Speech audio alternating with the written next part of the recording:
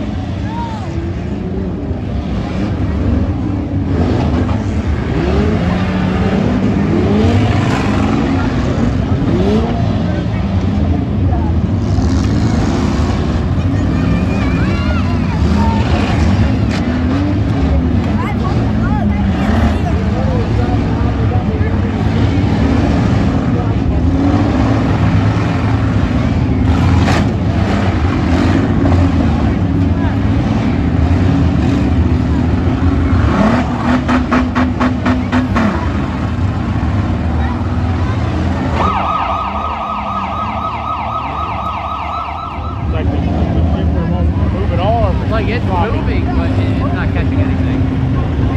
It still turns on though. My head my helmet got stuff like this.